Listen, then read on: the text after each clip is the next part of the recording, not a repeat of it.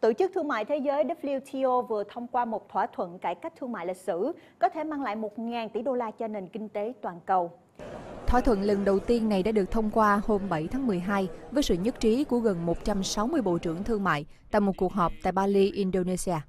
Chúng tôi đã đạt được một điều rất có ý nghĩa, tất cả mọi người trên thế giới sẽ đều hưởng lợi từ thỏa thuận này.